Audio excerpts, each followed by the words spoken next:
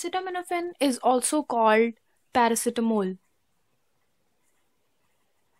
and it is a popular and widely available over-the-counter analgesic and antipyretic drug. Analgesic is a drug that relieves pain and uh, the antipyretic is a drug that reduces fever.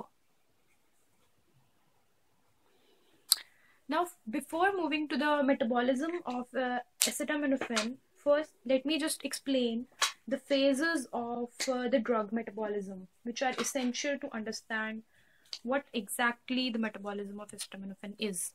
So, when a drug enters our body, the ultimate goal of our body is to make it hydrophilic.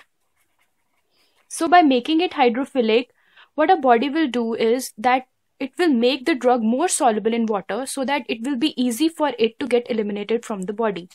Now to do so, there are two phases of the drug metabolism which our body performs. They are phase 1 metabolic reactions, drug metabolism reactions,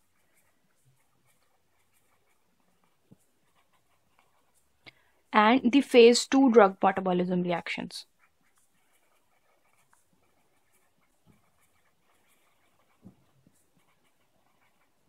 In the phase 1 drug metabolism reactions, the reactions which usually take place are the oxidation, reduction, and the hydration reactions.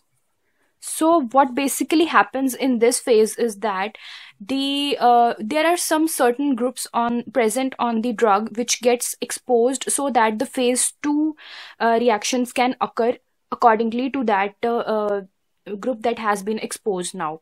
The phase 2 reactions will further lead on to the conjugation reactions. So what basically happens in phase 2 drug metabolism reactions is that uh, the conjugation of the drug takes place so that it becomes more hydrophilic and ultimately gets uh, eliminated from the body. Now talking about the metabolism of uh, acetaminophen. So this is the acetaminophen molecule which have an acetyl group present on this position, the para position. When this acetaminophen enters our body, about 90% of it gets converted into its sulfate conjugates and glucuronide conjugates. The sulfate conjugates are formed by the action of sulfotransferases on them, which leads to the conjugation of sulfate group with the acetaminophen. And glucuronide conjugates are formed by the action of the enzyme UDP glucuronyl transferase, which attaches the glucuronide group to the acetaminophen molecule. These conjugations result in increased hydrophilicity. This increased hydrophilicity of the drug molecules are now able to be more soluble in water and hence they can be easily eliminated out of the body. Also, about 5% of the drug is directly eliminated from the body via urine. However, about 5% of the drugs gets converted into the toxic form of acetaminophen, which is NAPQI, that is N-acetyl parabenzoquinone imine. Now, this happens through the enzyme cytochrome P450 monooxygenase systems, which are the enzyme components of the phase 1 reactions. However, this NAPQI combines immediately with glutathione to form a non-toxic mercaptide conjugate which can be eliminated from the body. Now, if there is a acetaminophen overdose, what happens?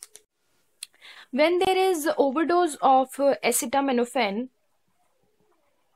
the glutathione stores are depleted why this happens? Because if there will be more of acetaminophen there will be more of uh, NAPQI which will lead to more of the conjugation of glutathione with it to make it eliminated from the body.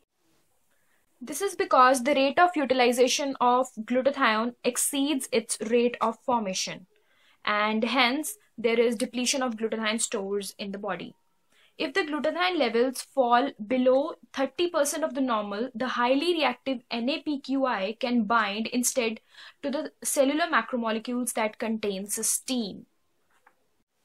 And this toxic form will lead to the injury to cells. And